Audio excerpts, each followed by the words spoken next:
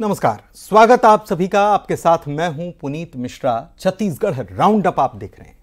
छत्तीसगढ़ दिव्यांग सेवा संघ ने एक बड़ा आरोप लगाया है। संघ का यह आरोप है कि सरकारी नौकरियों में 50 फ़ीसद दिव्यांग फर्जी हैं। पूरा मामला क्या है, इस रिपोर्ट में आपको दिखाते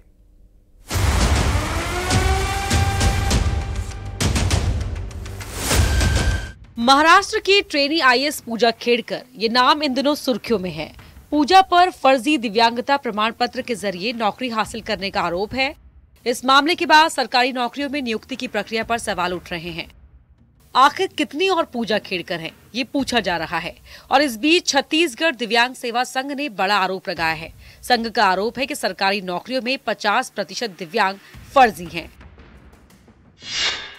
बड़ी गड़बड़ कितने खेड़कर। छत्तीसगढ़ दिव्यांग सेवा संघ का आरोप। सरकारी नौकरियों में 50 प्रतिशत दिव्यांग फर्जी। छत्तीसगढ़ पीएससी में फर्जीवाड़े का आरोप। 21 लोगों ने फर्जी प्रमाण पत्र के ज़रिए हासिल की नौकरी। छत्तीसगढ़ दिव्यांग सेवा संघ ने छत्तीसगढ़ पीएससी में भी फर्जी तरीके से नौकरी पाने का आरोप लगाया है। आरोप है कि प्रदेश में डिप्टी कलेक्टर से लेकर कई अधिकारियों ने फर्जी दिव्यांगता सर्टिफिकेट के आधार पर नौकरी हासिल की है। छत्तीसगढ़ दिव्यांग सेवा संघ ने आंकड़ा भी दिया है। बताया है कि कितने लोगों ने फर्जी प्रमाण पत्र के आधार पर नौकरी हासिल की। फर्जी दिव्यांगता सर्टिफिकेट के सहारे यहाँ हज़ारों पूजा खेड़कर के रूप में नौकरी कर रहे हैं। लेकिन दुख का विषय ये है, हमारा जो संघ है, लगातार तीन वर्षों से शिकायत पे शिकायत कार्रवाई चाह रहे हैं, शिकायत कर रहे हैं, लेकिन कोई भी प्रकार की जो है कार्रवाई अभी तक शासन प्रशासन की ओर से नहीं मिला है। और जो फर्जी दिव्यांग हैं, उनको बचाने की कार्य कर रहे हैं शासन प्रशासन। और इसी बात पे हम तंग आ करके आने वाले समय में 21 तारीख को उग्र आंदोलन करेंगे, जिसका समस्त जिम्मेदार शासन प्रशासन की होगी। बड़ी गड़बड़, कितने खेड़कर। सात डिप्टी कलेक्टर, तीन लेखा अधिकारी तीन नायब तहसीलदार, दो सहकारिता निरीक्षक, तीन पशु चिकित्सक। फर्जी दिव्यांग सर्टिफिकेट के आधार पर नौकरी हासिल करने के आरोपों पर मंत्री श्याम बिहारी जायसवाल ने कार्रवाई की बात कही है।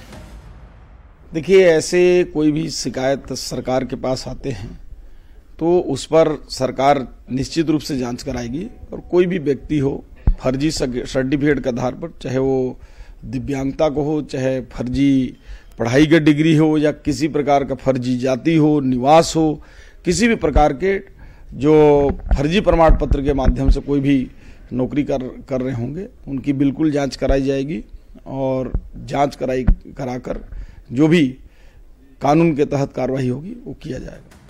तो क्या छत्तीसगढ़ में भी दिव्यांगों के कोटे पर फर्जी तरीके से नौकरी हासिल की जा रही है?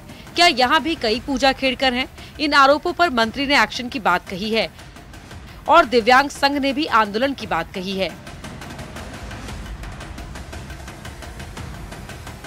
न्यूज़ 18 के लिए रायपुर से युगल तिवारी की रिपोर्ट।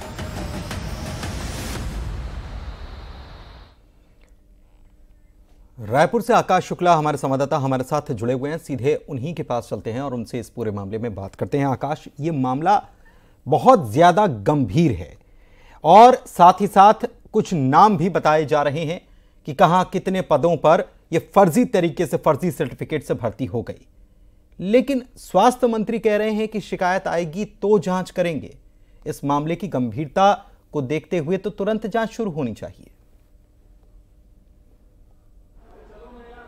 जी बिल्कुल, देश में आईएएस पूजा खेड़कर का मामला लगातार तूल पकड़ा हुआ है। किस तरीके से दिव्यांगता का सर्टिफिकेट लेकर आईएएस पूजा खेड़कर ने नौकरी हासिल की, इस पर यूपीएससी ने संज्ञान ले लिया और देश भर में मामला चर्चित है। लेकिन इस तरीके से मामले जो है, छत्तीसगढ़ में भी कई मामले हैं कि राज्य प्रशासनिक सेवा के महत्वपूर्ण पदों पर फर्जी दिव्यांगता सर्टिफिकेट लगाकर लोग लोगों ने नौकरी पाया। इसमें सात से अधिक जो है, डिप्टी कलेक्टर छः नायाब तहसीलदार और लेखाधिकारी समेत कई जो हैं बड़े प्रशासनिक सेवा के पदों पर बैठे हुए हैं। अभी हाल ही में जो है दिव्यांगता संघ ने इस पर प्रेस कॉन्फ्रेंस ली थी और बड़ा खुलासा करते हुए, नाम गिनाते हुए जो कहा है कि दिव्यांगता सर्टिफिकेट फर्जी तरीके से लगाकर नौकरी पाया गया है। इसकी शिकायत लगातार होती रही है, लेकिन किसी तरीके से कार्रवाई नहीं हुई है। मामला सदन में भी उठा था। दिव्यांगता सर्टिफिकेट और फर्जी जाति प्रमाण पत्र के आधार पर नौकरी लगने, सरकारी नौकरी लगने को लेकर उसमें हालाँकि सरकार ने संज्ञान लेने की बात की है, लेकिन बड़े पदों पर जिस तरीके से डिप्टी कलेक्टर समेत तमाम जो अधिकारी बैठे हुए हैं, जिन पर आरोप लगा है उन पर जाँच अभी तक के ठोस तरीके से नहीं हुआ है। हमने स्वास्थ्य मंत्री श्याम बिहारी जायसवाल से इस मसले में बात किया और ये उनको जानकारी दी कि किस तरीके से जो है अस्पतालों में डॉक्टरों के माध्यम से दिव्यांगता सर्टिफिकेट फर्जी तरीके से बनाया जा रहा है नौकरी लगा जा रहा है। उन्होंने कहा है कि जितनी भी शिकायतें आ रही उस पर राज्य सरकार संज्ञान ले रहा है और जाँच करेगा। लेकिन जिस तरीके से तो रवैया आकाश कर... आकाश देखिए स्वास्थ्य के मामले को लेकर विधानसभा में खूब हंगामा हुआ। सीएजी की रिपोर्ट भी पेश की गई। तो कहा गया कि ये पुरानी सरकार के ये जो हैं ये कामकाज निकलकर सामने आ रहे हैं। आ, लेकिन विधानसभा में इस मामले को लेकर अगर चर्चा हुई है तो यहीं पर इस बात की घोषणा हो जानी चाहिए कि पूरे मामले की जाँच की जाएगी क्योंकि ये केवल मामला फर्जी सर्टिफिकेट का नहीं है उन लोगों का भी है उन पात्र लोगों का है जिनका हक किसी ने फर्जी सर्टिफिकेट बनवाकर छीन लिया। देखिए, इसको एक तरीके से बड़ा सिंडिकेट मान सकते हैं क्योंकि महत्वपूर्ण और बड़े पद हैं राज्य प्रशासनिक सेवा के, जिसमें छत्तीसगढ़ सरकार में कई महत्वपूर्ण जगहों पर, विभागों पर जो है, ऐसे अधिकारी काबिज हैं। और कहीं ना कहीं उस पर जो आरोप लगते हैं और जाँच के लिए, कार्रवाई के लिए जब नोटशीट आगे बढ़ती है, फ़ाइल आगे बढ़ती है तो उन फाइलों को दबा दिया जाता है। सामान्य प्रशासन विभाग के कई बड़े अधिकारी जिनको संज्ञान लेना चाहिए, लेकिन एक तरीके से ये प्रशासनिक स्तर पर बड़ी मिली भगत है, जिसकी वजह से फर्जी प्रमाण पत्र को लेकर कार्रवाई नहीं हो सकती। ऐसा नहीं है कि मामला ये अभी अभी आया कई मामले हैं जो पुराने हैं और बरसों चल रहे हैं। अधिकारियों पर लगातार आरोप लगते रहे हैं कि फर्जी प्रमाण पत्र के आधार पर उन्होंने प्रशासनिक सेवा और कई बड़े पदों पर नौकरी पाया है। लेकिन कार्रवाई नहीं होती है, फाइलें दबा दी जाती है। अब इसका कारण क्या है, ये प्रशासनिक स्तर पर ही बताया जाएगा। लेकिन लंबे समय से इसकी जाँच और इन पर दोषियों पर जो है वो कार्रवाई की मांग उठती रही है। लेकिन कार्रवाई नहीं किया जाना एक बड़ा प्रश्न प्रश्न चिन्ह प्रशासनिक सेवा और प्रशासनिक स्तर पर भी उठता है और सरकार की नीयत पर भी एक सवाल उठता है। हालाँकि इस पर जो विष्णुदेव शाह सरकार सरकार ने जो है वो संज्ञान लेने की बात कही है लेकिन देखना अब ये होगा कि ये कब, कब संज्ञान लिया जाता है? कब संज्ञान लिया जाता है? शिकायतों की बात कही गई कि शिकायतें आएँगी तो फिर देखेंगे लेकिन शिकायतें तो सामने हैं और सीधे सीधे गंभीर अगर आरोप लगाए जा रहे हैं और सीधे सीधे किसी ने फर्जी सर्टिफिकेट के आधार पर नौकरी हासिल कर ली अगर यह आरोप है तो पूरे मामले की जाँच तो तुरंत तो होनी चाहिए। अब क्यों इंतज़ार हो रहा है? यह थोड़ा समझ से परे है। चलिए, बहुत शुक्रिया आकाश इस तमाम जानकारी के लिए, बातचीत के लिए। बढ़ते हैं आगे, सुकमा की बात करेंगे। पाँच नक्सलियों ने सरेंडर कर दिया। एक महिला समेत पाँच नक्सलियों ने हथियार डाले हैं, आत्मसमर्पण किया है। ये लोग चिंतन नार इलाके में सक्रिय बताए जाते हैं और कई नक्सली वारदातों में ये शामिल भी थे, लेकिन इन्होंने मुख्य धारा में लौटने का फैसला किया और सरेंडर कर दिया।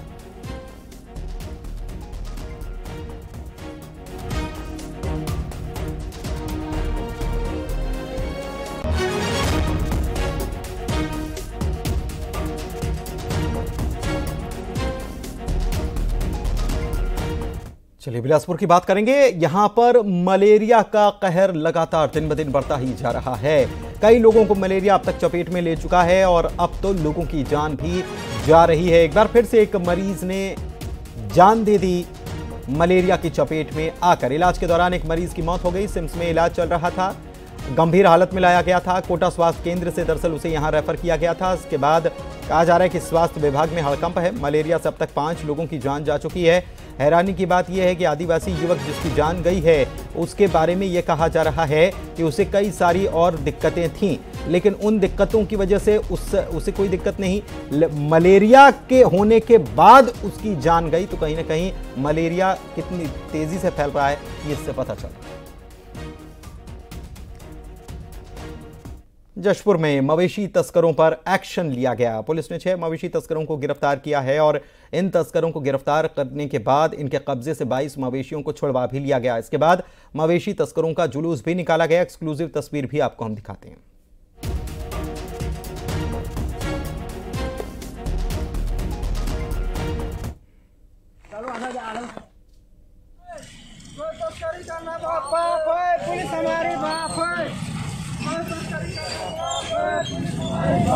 करना पाप है।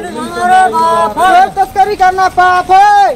हमारे बाप है तस्करी करना पाप है। हमारे बाप है तस्करी करना पाप है। पुलिस हमारे बाप है तस्करी करना पाप है।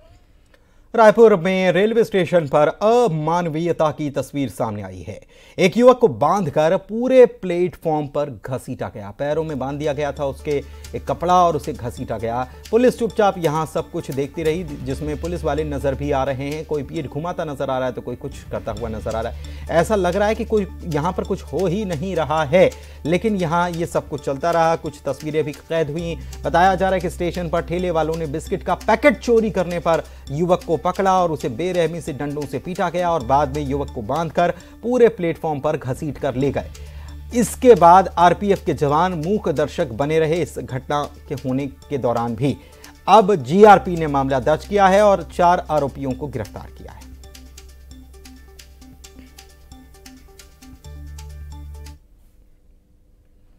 बालौद की बात करेंगे, जहाँ पर बीजेपी के प्रदेश प्रवक्ता हैं देवलाल ठाकुर। और इनके फार्म हाउस में मर्डर की वारदात से सनसनी फैल गई।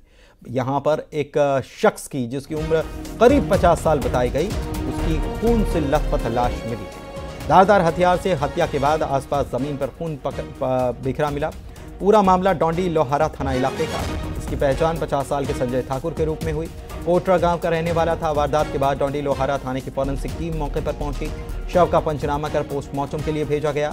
उसके शरीर पर गहरे जख्म के निशान मिले मामले का खुलासा करते हुए पुलिस ने बताया है कि फार्म हाउस का दूसरा चौकीदार जो है, उसी ने इस वारदात को अंजाम दिया है, क्योंकि मृतक ने आरोपी की पत्नी से छेड़छाड़ की थी, जिसके बाद कुल्हाड़ी से उसे मौत के घाट उतार दिया गया।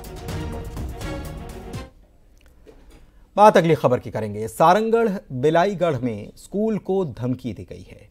और एक नहीं, तीन स्कूलों को धमकी दी गई है। बम से उड़ाने की यह धमकी दी गई है। बोईर डीह में दरअसल ब्लैक बोर्ड पर यह धमकी लिखी गई थी। सरकारी स्कूल के ब्लैक बोर्ड पर इस प्रकार से यह धमकी दी गई थी कि 15 अगस्त से पहले बम फटेगा और तीनों स्कूल तैयार रहें। दहशत में हैं अब गाँव के लोग। पूरे मामले की जाँच में पुलिस जुटी हुई है। दुर्ग की बात करेंगे व्यापारिक इलाकों का सोना पार। सुपेला के लक्ष्मी मार्केट में वारदात, गाड़ी से चोरों ने उड़ाया सोना। सीसीटीवी की जाँच कर रही पुलिस, आरोपियों की तलाश में पुलिस जुटी।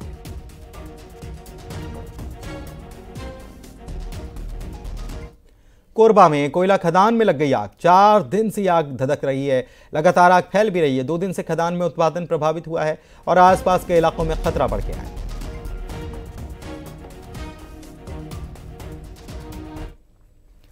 छत्तीसगढ़ में बारिश कहर जारी बारिश से जनजीवन प्रभावित है बलौदा बाज़ार में बारिश से नदी नाले उफान पर हैं सिमगा विकास खंड में दरचूरा बाँध टूट गया जिससे कि सड़क पर बारिश का पानी भर गया कई गाँवों को जाने वाला रास्ता बंद हो गया नदी नाले यहाँ पर लगातार उफान पर हैं प्रशासन ने अलर्ट जारी कर दिया है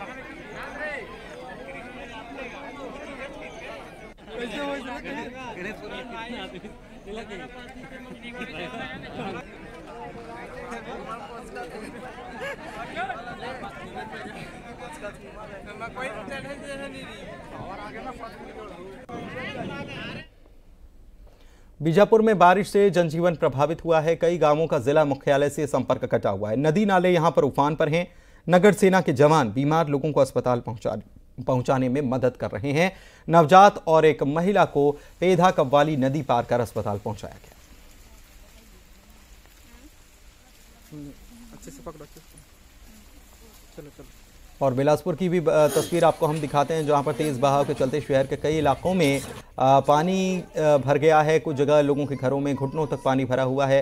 नालों की सफ़ाई समय से नहीं हुई इसके बाद ये स्थिति बनी हुई है। इसीलिए लोग खुद नाले में उतरकर सफ़ाई करते हुए नज़र आए हैं। बिलासपुर वही ज़िला जहाँ पर मलेरिया तेज़ी से पैर पसार रहा है। और अगर ऐसे हालात होंगे तो क्या स्थिति और नहीं बिगड़ेगी? दुर्ग की बात करें तो यहाँ पर शिवनाथ नदी में लगातार पानी छोड़ा जा रहा है और इससे शिवनाथ नदी खतरे के निशान के ऊपर जा चुकी है। बाढ़ आई हुई है, खतरा बरकरार है। मोगरा जलाशय से फिर से दस हज़ार क्यूसेक पानी छोड़ा गया और महामरा एनिकेट पर 10 फीट से ऊपर पानी बह रहा है। अलर्ट कर दिया गया है आसपास के गाँव।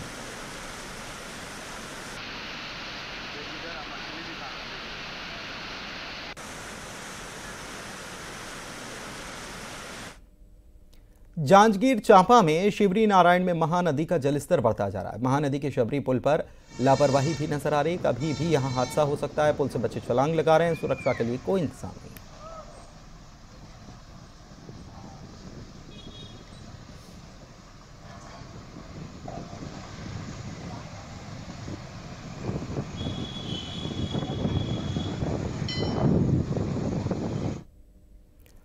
कोंडागांव में भारी बारिश से हालात बिगड़ गए। अंदरूनी ग्रामीण इलाकों में सबसे ज़्यादा हालात खराब बताए जा रहे हैं।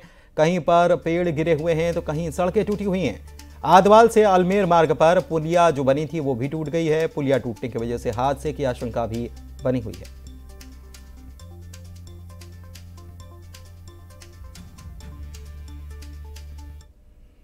बात बिलासपुर की फिर से करते हैं, जहाँ पर नदी नाले उफान पर हैं।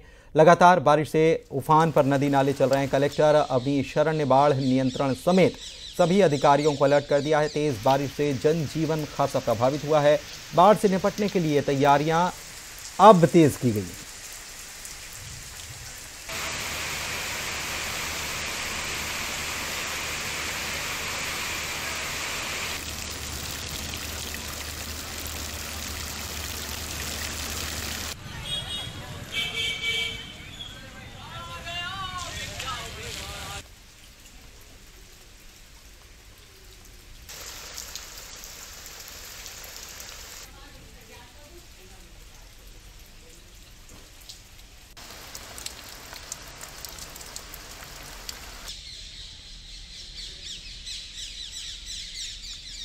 आगे बढ़ते हैं। गरियाबंद में स्कूल की छत का प्लास्टर गिर गया। बड़ी खबर इस वक्त आपको बता रहे हैं और जहाँ गिरा है वहाँ पर बच्चे पढ़ाई कर रहे थे लेकिन बाल बाल उनकी जान बच गई।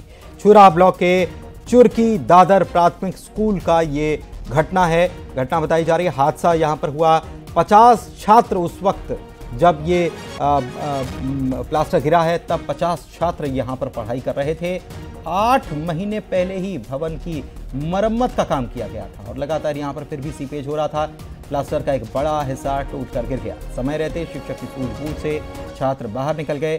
ठेकेदार के काम पर भी सवाल उठना लाजमी सी बात है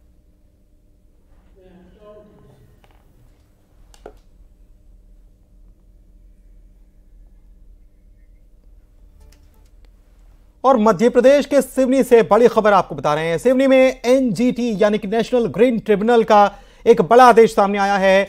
दल सागर तालाब को लेकर यह बड़ा आदेश है। फूट ओवर ब्रिज का पिलर तोड़ दिया जाए। यह आदेश दिया गया है। फूट ओवर ब्रिज का पिलर तोड़ने के आदेश हैं। सभी चार पिलर, सभी पिलर चार हफ़्ते में तोड़ दिए जाएँ। एक दशमलव आठ आठ करोड़ की लागत से यह फुट ओवर ब्रिज बन रहा है। एनजीटी ने माना है कि यह वेटलैंड प्रोटेक्शन रूल का उल्लंघन किया गया है और इसीलिए सारे पिलर, हालाँकि अभी तो ये बना भी नहीं है, लेकिन उसके पहले ही ये वेटलैंड प्रोटेक्शन रूल जो है, उसका उल्लंघन बताया गया और इसीलिए इसे गिराने के लिए कह दिया गया है। बेहद बड़ी खबर आपको बता रहे हैं। एनजीटी की तरफ़ से यह फुट ओवर ब्रिज जो तैयार किया जा रहा था और इसकी लागत एक करोड़ अट्ठासी लाख रुपए बताई गई। लेकिन वेटलैंड प्रोटेक्शन नियम जो है उसका उल्लंघन किया गया। ये एनजीटी यानी ग्रीन ट्रिब्यूनल ने नेशनल ग्रीन ट्रिब्यूनल ने यह माना है और दल सागर तालाब के ऊपर जो फुट ओवर ब्रिज तैयार हो रहा था, उसके सभी पिलर चार हफ़्ते में तोड़ने के आदेश दे दिए गए।